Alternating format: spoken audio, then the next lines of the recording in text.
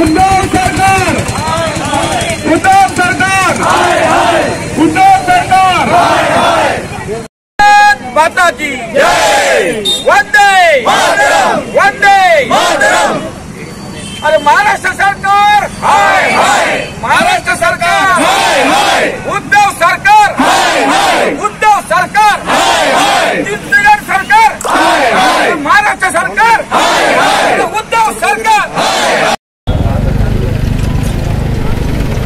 नमस्कार, मैं हूँ यूसुफ अली। तो इस समय हम खड़े हैं वसई तहसील कार्यालय के बाहर।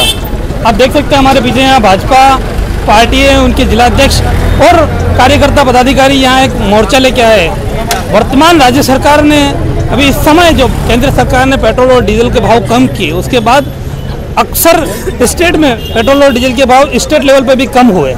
लेकिन महाराष्ट्र में, महाराष्ट्र सरकार ने पेट्रोल और डीजल के भाव में कमी नहीं की टैक्सेस में कमी नहीं किया, उसी का लेकर आज निषेध मोर्चा यहाँ रखा गया यहाँ पे भाजपा जिलाध्यक्ष राजन नाइक के साथ में इनके अलग अलग जो मोर्चे हैं, उनके पदाधिकारी यहाँ मौजूद है और ये एक मोर्चा अभी संपन्न हुआ।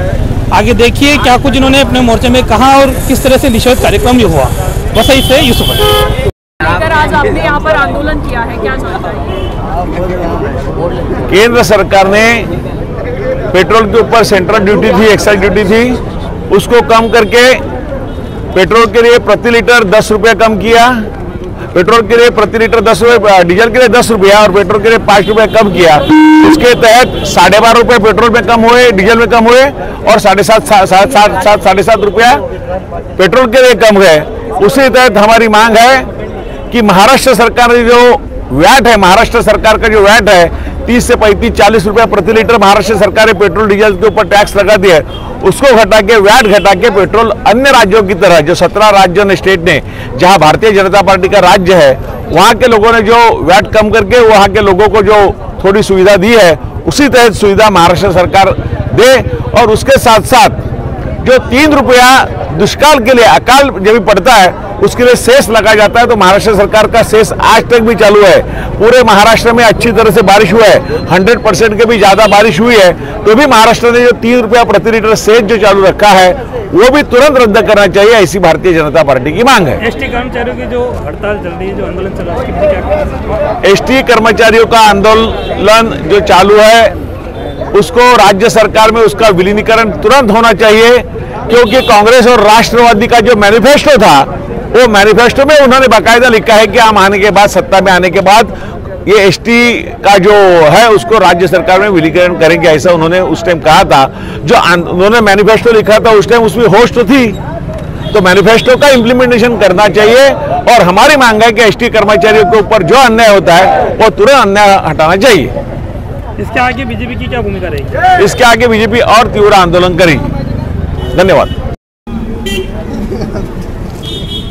डिझेल आणि पेट्रोलचा व्याट कमी करण्यासाठी महाराष्ट्र शासनाच्या विरुद्ध जे धरणं आंदोलन आहे त्या आंदोलन उपस्थित असलेले माझे सहकारी जिल्हा सरचिटणीस महेंद्र पाटील केंद्र सरकार विरुद्ध आंदोलन करणारे आणि आंदोलन करून नौटंकी करणारे गेल्या महिन्यात दीड महिन्यात बघितलं असेल कोण सायकलवरती फिरतं कोण बैलगाडीत फिरतं कोण हातगाडीत फिरतं कोण कशात फिरत? आणि जेव्हा लोकांना द्यायची वेळ आली जनतेसाठी काय करण्याची वेळ तुमची आली तेव्हा तुम्ही पळून गेले. केंद्र सरकारने पेट्रोलवर डिझेलवरती बारा दहा रुपये कमी केले म्हणजे टोटल साडेबारा रुपये कमी केले. पेट्रोलवरती पाच रुपये म्हणजे साडेसात रुपये कमी केले.